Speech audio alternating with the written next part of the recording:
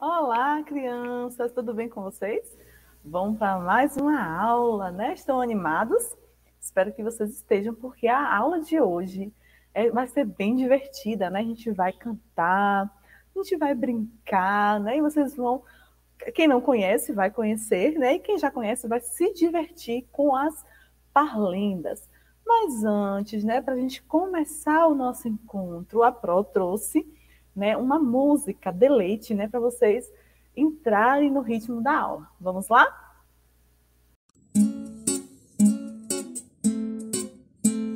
Zip zap, zip zap, zip zap, zip zap.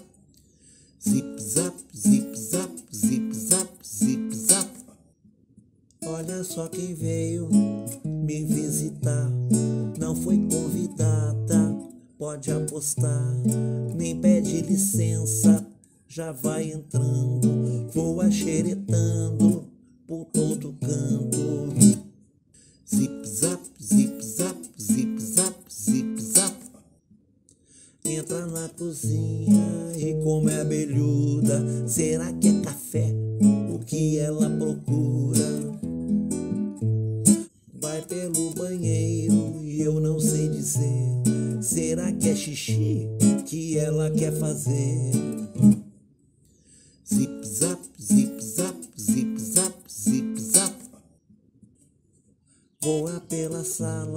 Essa enxerida. Pousa no sofá, ah, eu sei bem porquê. Só o que me faltava, essa intrometida. Pedi que eu mude o canal da TV. Zip zap, zip zap, zip zap, zip zap. Ela tem seis patas, uma antena fina, mais um par de asas bem coloridas. Diria antes de ser bonita, era uma lagarta feia e mal vestida. Zip zap, zip zap, zip zap, zip zap. E se quer saber quem é essa xereta, então fique sabendo, seu nome é borboleta.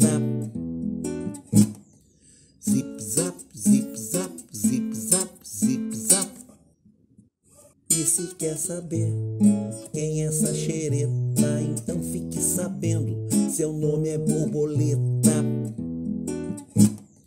Zip zap, zip zap, zip zap, zip zap.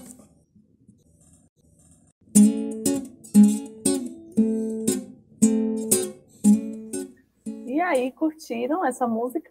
Legal, né? Bem divertidinha e fala sobre um animal bem interessante, né? Que é a borboleta, e vem falando de algumas características dela, né? Sempre sai voando, serelepe aí pelos cantinhos, tanto nas plantas, elas, elas entram em nossa casa, né? Deixam o ambiente bem alegre e elas são bem importantes para a natureza, né? Além de ter uma beleza nas asas, né? Tem, tem borboletas muito lindas, né? Com, a, a, é, com asas bem coloridas, bem interessantes?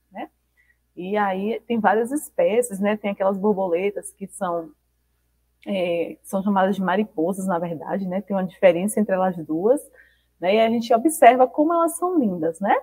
Então vamos lá para nossa aula. A nossa aula de hoje, deixa só para aqui, a nossa aula de hoje, né? É a aula de número 54 e tem como nome, né? A parlenda, certo? Então a gente vai começar, né? Pra, no início de nossa aula, a gente vai começar vendo quais são os objetivos, né? O que, que vocês vão aprender com essa aula das parlendas, né? Então, com essa aula, vocês vão declamar uma parlenda, né? Vocês vão aprender essa parlenda e vão declamar, né? Vão falar essa parlenda. Vocês também vão identificar e localizar palavras, né? Então, a gente vai usar a parlenda para que vocês consigam ler, né? E localizar palavras nela. Além disso, vocês vão apreciar, né? Uma brincadeira popular uma parlinda que faz parte aí na, de, das gerações. Eu tenho certeza aí que alguém na sua casa, alguém mais, algum adulto da sua casa já ouviu as parlendas que a Pro trouxe para compartilhar com vocês aqui hoje. Você conhece alguma parlenda? Se conhecer, coloca nos comentários aí. Eu conheço, Pro. E aí pede para algum adulto e colocando aí no, no, nos comentários qual é a parlenda que você conhece, tá certo? Será que é a mesma que a prova vai apresentar hoje aqui? Vamos ver? Então, ó, a parlenda que a Pro né, vai apresentar para vocês, para começar, né, a Pro trouxe uma parlenda para começar a apresentar as parlendas para vocês. Olha que interessante, né? Então, a primeira é uma que é bem legal, que a gente faz para começar as brincadeiras lá na escola, né? E aí a gente chama, reúne todas as crianças, coloca a mão assim e fala: quem quer brincar com a parlenda, põe o dedo aqui, que já vai fechar. Não adianta chorar. A Pro também conhece uma que é assim, ó. Quem quer brincar, põe o dedo aqui, que já vai fechar o abacaxi, né? E aí a gente fecha e os dedos que tiverem aqui, ó, que a mão conseguir prender, é, são as crianças que vão brincar, né, daquela brincadeira, tá certo? Por isso que tem aqui um coração dentro da mão, né, que os dedos que vão ficar, que consegue prender na hora que fecha o abacaxi, né, que a mão fecha, as crianças vão brincar. Vocês já brincaram? Já usaram essa parlenda para iniciar alguma brincadeira? É, tem uma também que é a brinca, que é, que é aquela é, 0 ou 1, um, né? Que algumas crianças fazem, já, já tem várias, várias parlendas que para dar início à brincadeira. Tem uma que a Pro fala com vocês, que é quando a Pro encerra uma história. Quem lembra? Aquela que a Pro sempre quando termina uma história, uma história de leite que a Pro fala. Entrou por uma porta, saiu por outra. Quem quiser, que conte outra. Isso também é uma parlendinha, né? Que a gente usa para encerrar uma história, por exemplo. Então, as parlendas, elas fazem parte, né, da nossa vida, da nossa, do, da nossa cultura popular, né? Assim como a gente viu na brincadeira da amarelinha, né, nas cantigas de roda, as parlendas também fazem parte da nossa cultura popular, né? E aí, ó, a Pro trouxe aqui essa parlenda, ó, cadê o toicinho, o toucinho, né, que estava aqui. Vocês já ouviram essa parlenda? Né, é uma parlenda que eu escutei muito na minha infância, né, conto para minha filha, então é uma parlenda bastante conhecida. Vou ler para vocês, tá certo? Então, ó, cadê o toucinho que estava aqui? E aí pergunta de novo, cadê o toucinho que estava aqui? O gato comeu. Cadê o gato? Foi para o telhado. Como é que eu faço para subir? pegar, pega uma escada. E se eu cair, o azar é seu. O azar é meu, né? Então é uma parlenda também que a gente vai brincando. E como é que a gente brinca, Proiane, com essa parlenda, né? A gente coloca assim, uma pessoa coloca a mão aberta, né? E a outra vem. Cadê o toucinho que estava aqui? Aí a outra responde: O gato comeu. Cadê o gato? Foi pro telhado. Como faço para subir? Pego uma escada. E se eu cair, o azar é meu. E aí, quando pergunta, ó, o azar é meu, aí a pessoa vai e faz cosquinhas no outro. Né? Já brincaram dessa? É bem legal. E aí, ó, vamos encontrar algumas palavras nessa parlenda? Vamos lá? Então, a prova vai colocar aqui de novo a parlenda. Ó e a gente vai encontrar algumas palavras, tá certo? A primeira palavra que a Pro quer que vocês encontrem é a palavra gato. Procurem aí para Pro, né? Procurem aí com o dedinho se você estiver na televisão de sua casa, se você estiver no computador, no, no, no celular também, mas tenha cuidado, não toca na tela, tá certo? Então tenta procurar aí. Onde é que está a palavra gato? Olha o som do gato. Procura aí como é que eu escrevo a palavra gato? O G, A, T, O. Então procura para pro. Encontraram? Vamos lá ler juntos, ó. Cadê o tocinho que estava aqui? O tocinho que estava aqui, o gato comeu. Cadê o gato, ó? Tem gato aqui e gato aqui. O gato Deixa eu virar aqui, ó.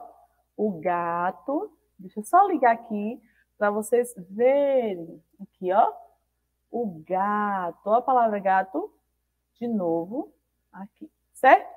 Agora, eu quero que vocês procurem aí para Pro a palavra escada, tá certo? Escada. Ó, es. Como é que a gente escreve o som do es? A letra E e a letra Si, né? esca. O C e o A e o da, D e o A. Ó, escada, tá joia? Agora, procura aí a palavra toucinho. Toucinho. Ó, começa com a letra T. Será que aqui está escrito toucinho?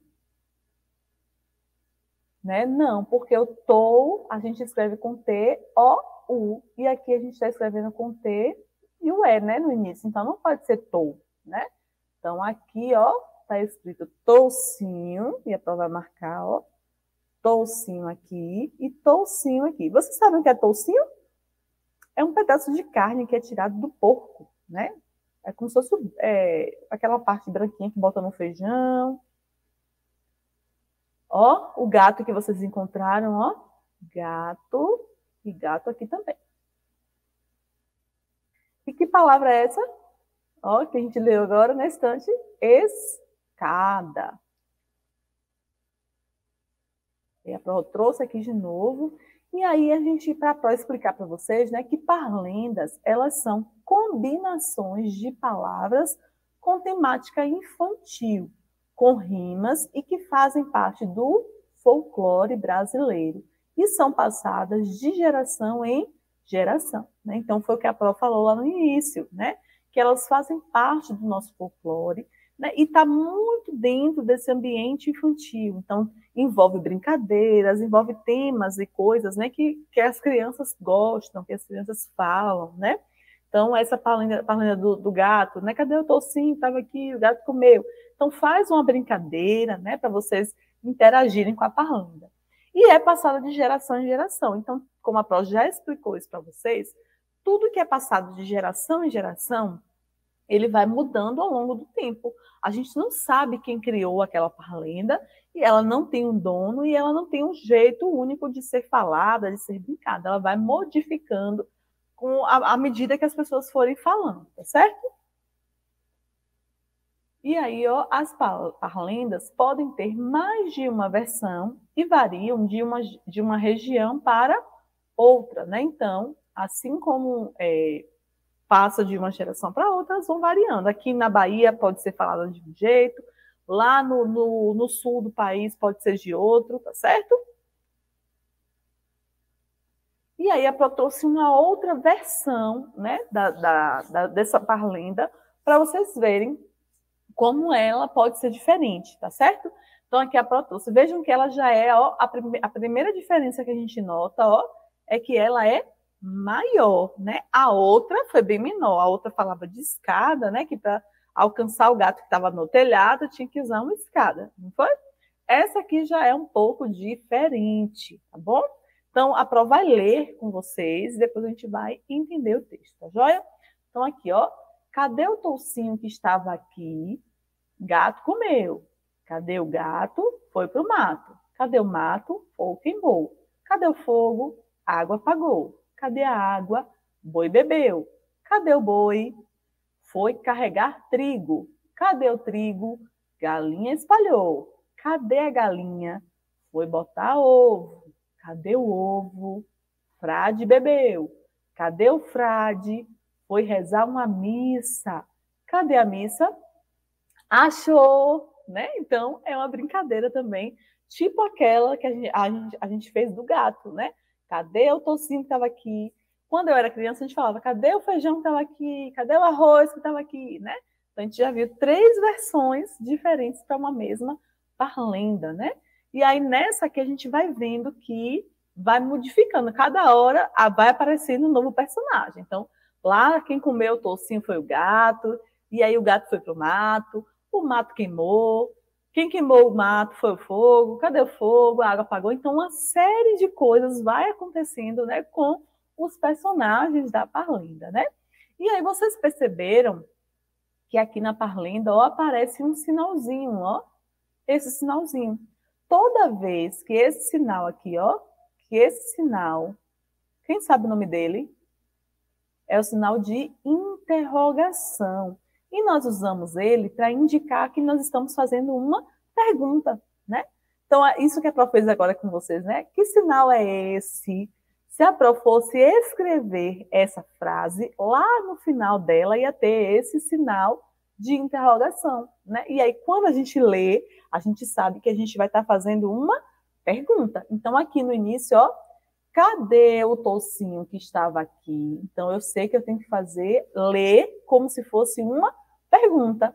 Eu não posso ler assim, cadê o tocinho que estava aqui? Não, cadê o tocinho que estava aqui? Eu não posso ler assim. Eu tenho que ler, cadê o tocinho que estava aqui? Né?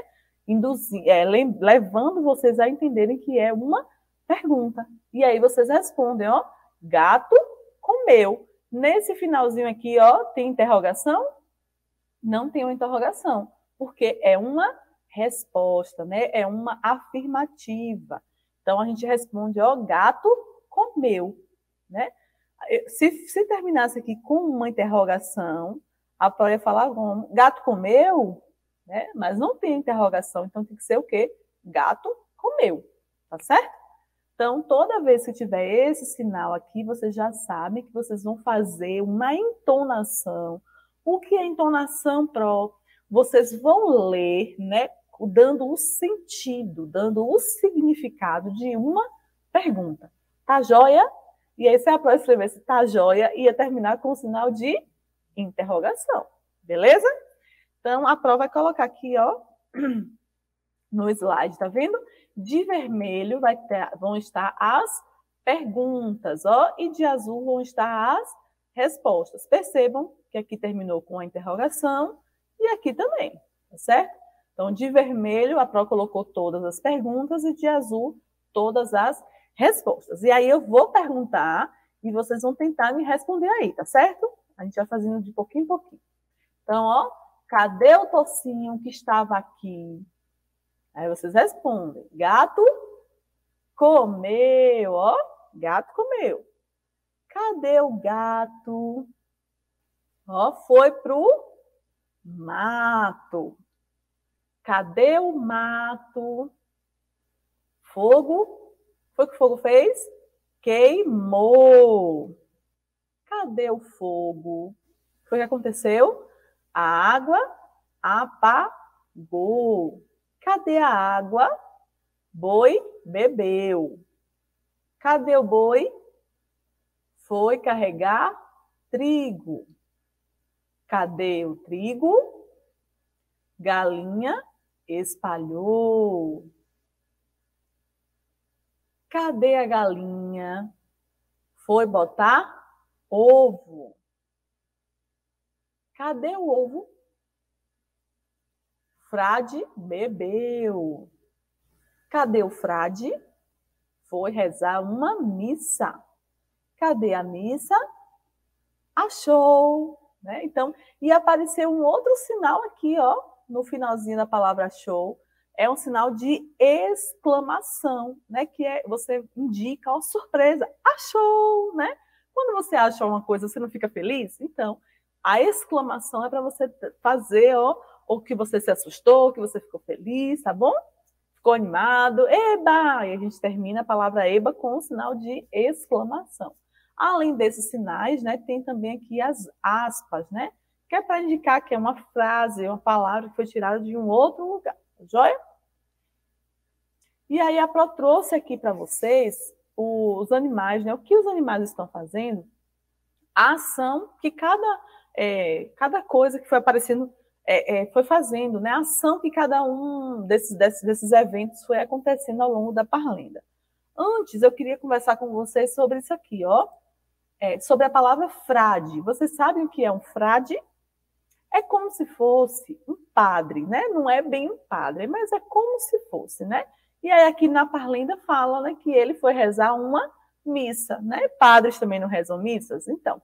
Então, é quase um padre. A Pró colocou aqui na imagem vai mostrar para vocês, tá certo? Então, na parlenda, né? Esse bichinho aqui vocês já sabem, é o que? O gato, ó. Como é que serve a palavra gato? O gato. Fez o quê? Comeu, tá certo? E o que foi, ó, que aconteceu com fogo? Ó, fogo. O que foi que aconteceu com fogo?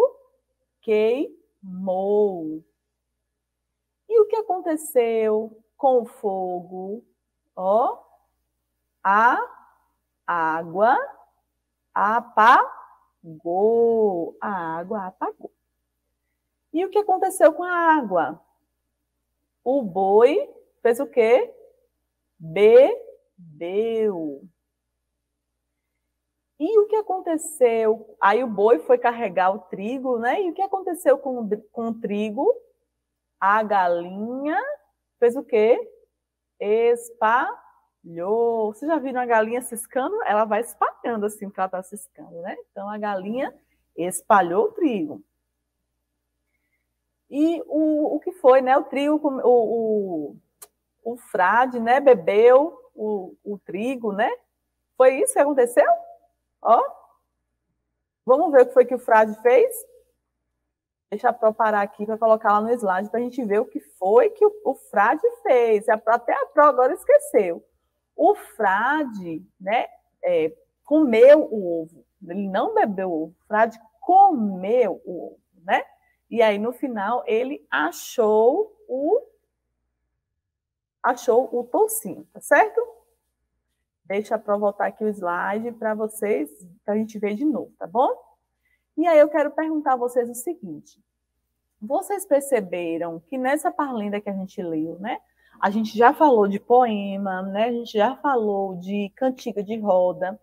E a gente agora estudando a, a parlenda, eu queria saber de vocês se vocês perceberam, né, que também nas parlendas há rimas. Vocês perceberam isso, né? Então existem diversos tipos de rima. Tem rima que é, as palavras são escritas do mesmo jeito. Tem rima que é só o som que é parecido. Tem rima é, que está é, tá, tá no final do, da palavra. Tem rima que está no, no, no início da frase, no final da frase. Então tem rima de tudo quanto é jeito, tá certo? Então aqui, por exemplo, ó, é, aqui a gente vê ó, o gato, né? Cadê o gato? Foi pro mato. Então a gente está percebendo que essas duas palavras, ó, gato, falem aí comigo, gato e mato. Então as duas palavras elas rimam, elas têm o mesmo som, né? Gato, mato, o final delas é igual, o mesmo som também na escrita, ó, o tó aqui do gato e o tó do mato, né? Então, elas rimam. Outra rima que aparece, ó, queimou, rima com apagou, ó, o mesmo som. Queimou, apagou, o final, certo? Deixa eu ver outra aqui. Nessa aqui a gente percebe essas rimas, né? Então a gente a gente já viu que a, a poesia, o poema, as cantigas de roda e as parlendas, ela tem essa característica também, além de divertir, da gente usar nas brincadeiras, né, da gente cantar, ter, ter ritmo, né, ter musicalidade. As parlendas também têm é, rimas, né? Então, eu queria desafiar vocês nisso, de vocês pensarem em palavras, por exemplo, que rima com gato. Qual será? Qual palavra rima com gato? Hum, sapato. É, que mais? Prato, né? Agora uma que rima com. É, deixa eu ver. Boi. Foi. É, uma que rima com a palavra tocinho, né? Focinho, moinho, caminho, né? Uma que rima com ovo. Será que tem uma que rima com ovo? Será? Hum, difícil, né? Se você lembrar de alguma palavra que rima com a palavra ovo, coloca aí no chat. É para não estar tá lembrando aqui, não. Mas se você lembrou, coloca aí no chat, tá certo? Então, tentem aí brincar com essas rimas, para que você, isso ajuda vocês tanto a lerem, né, quanto a terem essas criatividades e aumentar o vocabulário de vocês, vocês conhecerem palavras novas, tá certo? Então, o meu desafio para vocês é esse: vocês decorarem essa parlenda e fazer um vídeo bem legal, tá bom? E aí, você, se você puder postar lá no Instagram e marcar a gente para a gente ver a parlenda que você decorou, vai ser bem, bem legal. Você pode decorar essa parlenda aqui que a Pro trouxe, ou você pode decorar uma outra parlenda que você goste, né? Tem a da Macaca Sofia, né? Macaca Sofia, panela vazia, né? Tem a do do sapo, né? Tinha um sapo, um, saco com um sapo dentro. o sapo batendo papo e o papo soltando vento, né? É uma parlenda também. Né? Então, você pode decorar uma parlenda ou recitar uma, uma parlenda que você já conheça de cor, né? E declamar, fazendo um vídeo, postar para a gente ver. Tem uma da batatinha, né? Batatinha, quando nasce, espalha rama pelo chão. Menininha, quando dorme, põe a mão no coração, né? Então, também são parlendas que vocês, eu acho que vocês conhecem, tá certo? Então, a gente vai encerrar aqui, aprovar e reler com vocês essa parlenda, caso vocês queiram decorar ela. Se você estiver no YouTube, você pode é, é, pausar o vídeo e ir falando até que você decore, tá joia? Então, aqui, ó, cadê o tocinho que estava aqui? Cadê o tocinho que estava aqui, né? Cadê o tocinho que estava aqui? Gato comeu. Cadê o gato? Foi para o mato. Cadê o mato? Fogo queimou. Cadê o fogo? Água apagou. Cadê a água? O boi bebeu. Cadê o boi? Foi carregar trigo. Cadê o trigo? Galinha espalhou. Cadê a galinha? Foi botar ovo. Cadê o ovo? Frade bebeu. Cadê o frade? Foi rezar uma missa. Cadê a missa? Achou, né? Então, essa é a parlenda. Espero que vocês tenham curtido. Lembrem do desafio que a propôs para vocês, né? E postem lá, comentem aí nos comentários qual é a parlenda que você gosta de falar, se tem alguma parlenda, né, que envolve alguma brincadeira que você gosta, tá certo? E conta aí para mim, eu quero muito conhecer as parlendas que vocês conhecem. Tá joia, gente? Então nós vamos ficando por aqui, a gente se vê na próxima aula e a gente vai aprender bastante coisa, tá certo? Então, ó, um beijinho da Pro e até mais. Tchau, tchau.